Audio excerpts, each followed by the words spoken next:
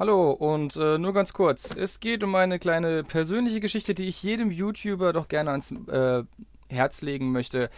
Es gibt viele schöne, gute Quellen äh, im Internet für freie Musik. Eine davon ist zum Beispiel Kevin McLeod, der ähm, unter incomputech.org oder com seine Musik wunderbar ähm, zur Verfügung stellt und da habe ich auch noch nie ein Problem mit gehabt. Eine sehr, sehr schlechte Quelle für freie Musik ist dahin, hingegen die folgende Seite ccmixter.org, denn die hat mir jetzt das folgende eingebracht: übereinstimmende Inhalte von Drittanbietern gefunden.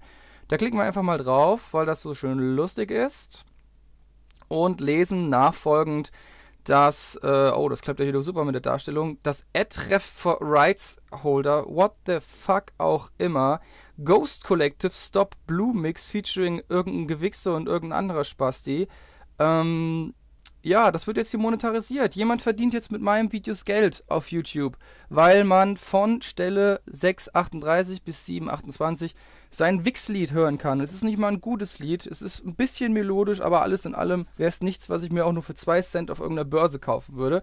Aber umsonst nimmt man nun mal anders und das äh, wird wahrscheinlich genau das Problem sein. Aber damit ihr nicht seht, dass ich mich jetzt hier umsonst aufrege und verdammte Scheiße, ich rege mich gerade wirklich auf, denn ich will das nicht. Das hier, das, wo ist es jetzt? Komm, YouTube, ein bisschen schneller, 50.000 Leitung. Das will ich nicht. Das hatte ich früher ganz, ganz, ganz, ganz massiv und das ging mir furchtbar auf den Keks und ich habe viel gelöscht und das will ich einfach nicht mehr.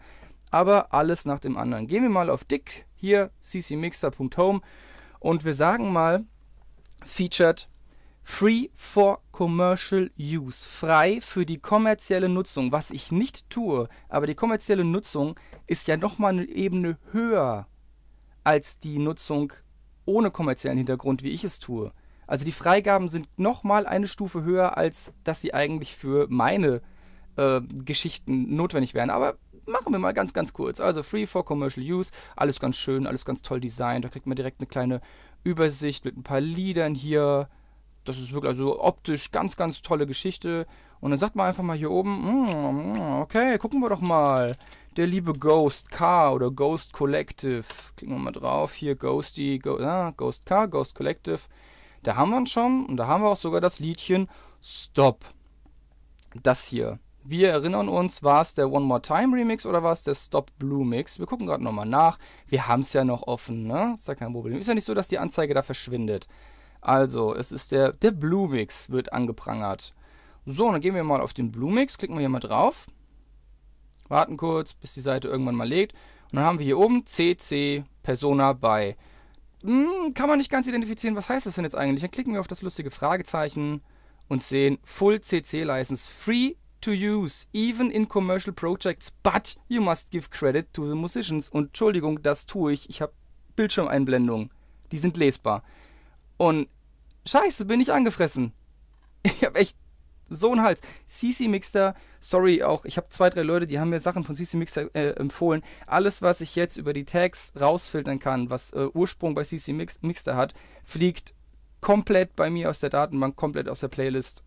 Tut mir unheimlich leid, ich habe vor kurzem erst wieder aufgestockt und habe ein paar mehr Lieder in die Playlist gepackt, weil es eben langsam aber sicher ein bisschen monoton wurde. Aber das, Just Once, Fool Me Once, Shame on Me äh, äh, oder was auch immer, Fool Me Twice, Shame on Everybody, keine Ahnung. Riesenaggressionspotenzial gerade. Wahrscheinlich rege ich mich wieder viel zu sehr auf über eine absolute Kleinigkeit, aber äh, ja. Liebe Videomacher bei YouTube, liebe Videomacher allgemein, haltet Abstand von CC Mixter.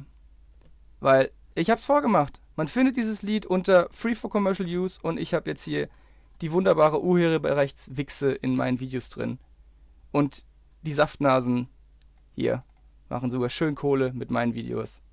Weil CC Mixer eine Bitch-Slap-Seite ist. Vielen Dank für die Aufmerksamkeit. Bis zum allernächsten Mal. Macht das gut, haut rein und tschüss.